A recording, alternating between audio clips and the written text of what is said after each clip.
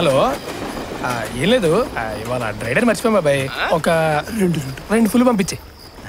మందు లేదు గుందు లేదు. ఫోన్ పెట్టాయి. ప్రతి పేవర్స్ గడు అర్ధరాత్రి పూట ఫోన్ చేయడమే. Yellow media Andhra Jyothi Eenadu TV five మీరందరూ కలిసి జగన్మోహన్ రెడ్డి గారి మీద ఎంత తప్పుడు ప్రచారం చేయించిన ఎంత విషం చిమ్మినా మీ సర్కస్లు మీ తిప్పలు.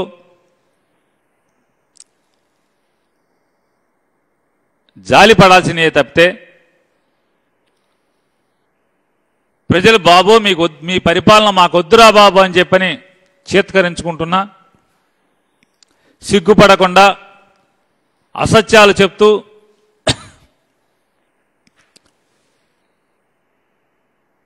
మొన్నటిదాకా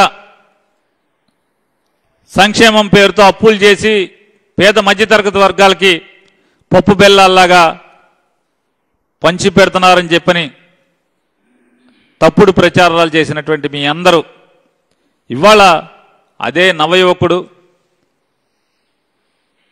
రెండు వేల పంతొమ్మిది దాకా మీరు అనుభవం లేదు అనుభవం లేదన్నటువంటి వ్యక్తి మూడు సంవత్సరాలు తిరిగేప్పటికీ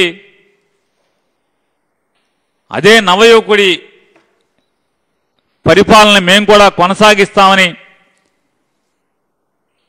చెప్పుకు తిరిగేటువంటి దౌర్భాగ్య స్థితి రావటం ఇది మీ పవన్ కళ్యాణ్కి చంద్రబాబు నాయుడికి ఇదేం కర్మరా అని మీరు అనుకోవాల్సిన పరిస్థితి ఈరోజు మీకు దాపురించినందుకు జాలిపడుతూ సెలవు తీసుకున్నాం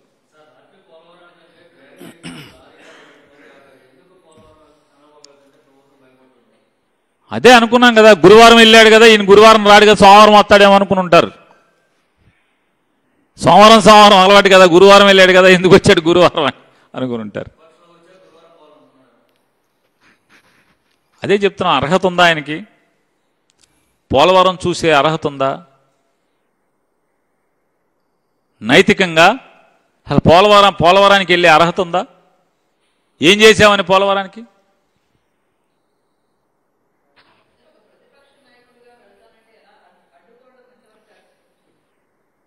రాత్రిపూట ఎందుకు వెళ్తాం? పగలెళ్ళచ్చు కదమ్మా.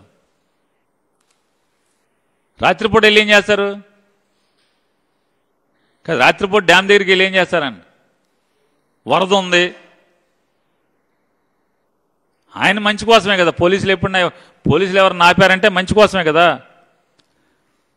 ఇప్పుడు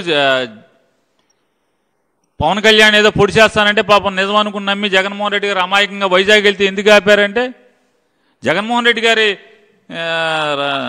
సంరక్షణ కోసమో లేకపోతే జగన్మోహన్ రెడ్డి గారి సేఫ్టీ కోసమే ఆపుంటారు కదా చంద్రబాబు నాయుడు గారు. కాదా? ఎయిర్పోర్ట్లోంచి అసలు బయటకు ఎందుకు వెళ్ళడం లేదు? జగన్ గారి రక్షణ కోసమే అని చెప్పారు కదా. ఇదెందుకు అనుకోరు? రాత్రిపూట ఎందుకు వరద ఉంది కదా అని ఎందుకు అనుకోరు?